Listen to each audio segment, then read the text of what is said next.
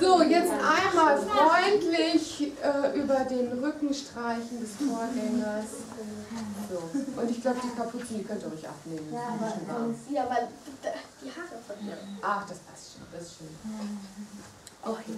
Seid ihr startklar? Ja. Schlaglöcher. In unserer Stadt haben sich in einigen Straßen große Löcher gebildet. Wenn man hier fährt mein Gott, und stolpert es, man gelangt schnell in ein Schlagloch.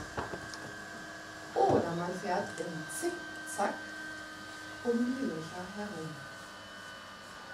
Um eine Straße auszubessern, müssen zuerst die Löcher gereinigt werden. Dann kommt der Trecker und bringt eine Asphaltmischung. Damit werden die Löcher aufgefüllt. Die Löcher werden aufgefüllt mit der Asphaltmischung. Danach wird Wasser darüber gesprüht.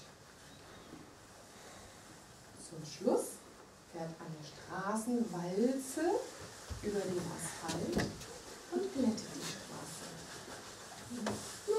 Man wieder ohne Probleme fahren. Gute Fahrt. Okay, bedankt euch.